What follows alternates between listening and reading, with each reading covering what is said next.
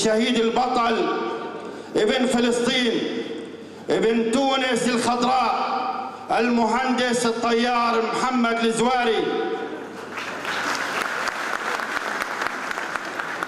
والذي استشهد قبل أيام خلال عملية اغتيال جبانة بعد أن أفنى عمره في أداء واجبه العربي والقومي مقدما روحه وإمكانياته وخبراته العلمية والعسكرية في خدمة قضية فلسطين وشعبها ومقاومتها.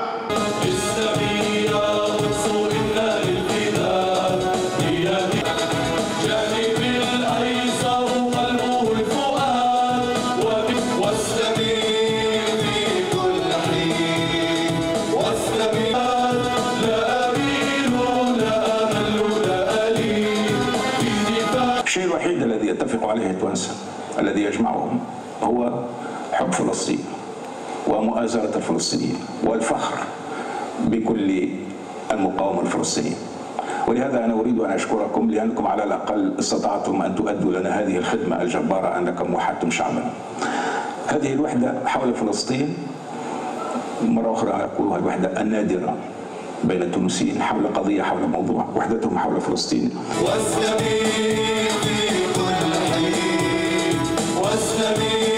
السيادة الوطنية هي التي انتهكت في تونس.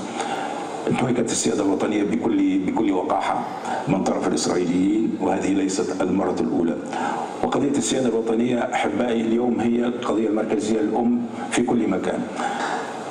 إذا نحن في تونس الآن وعون أشد الوعي بأن القضية خطيرة وخطيرة جدا ونحن ننتظر من حكومتنا أن تقوم بالحد الأدنى. الحد الأدنى ألا وهو الدفاع عن هذه السيادة الوطنية التي مات مات من أجلها شهداءنا منذ أكثر من نصف قرن.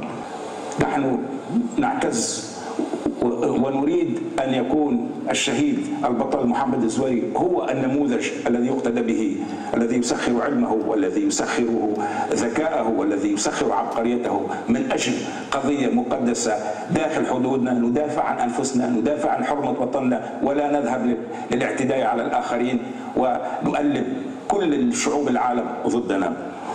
إذا بقدر ما آسف وأدين هذا الرجل الذي يعني جعلنا نطأطئ رؤوسنا خجلا خجلا من تلك الجريمة النكراء بقدر ما أرفع رأسي كتونسي اعتزازا وفخرا بالشهيد البطل محمد الزوري وبأمثاله. بهذا الانتصار وأن الله سيرينا ذلك قريبا. ويبقى المطلب الأخير الأكبر الآن وهو هو المسارعة برفع الحصار عن قطاع غزة.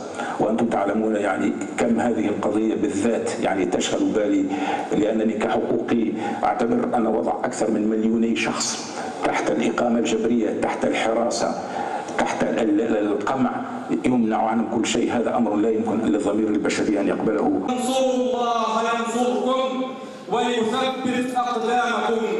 قد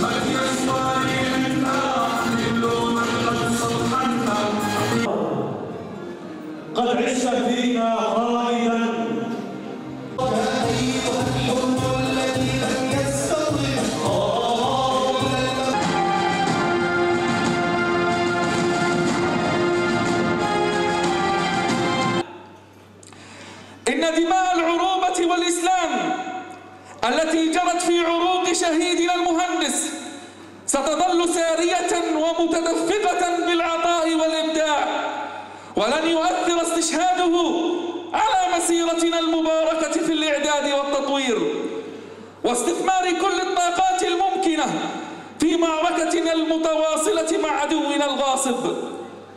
ثانياً ندعو الشباب العربي والمسلم بل وكل أحرار العالم لاقتفاء أثر شهيدنا الزواري في حشد كل في حشد كل الجهود وتوجيه كل الطاقات نحو الوجهة الصحيحة وتصويب البنادق نحو العدو الأوحد لأمتنا.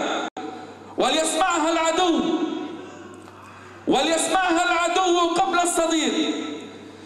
إن وصلوا للإزوار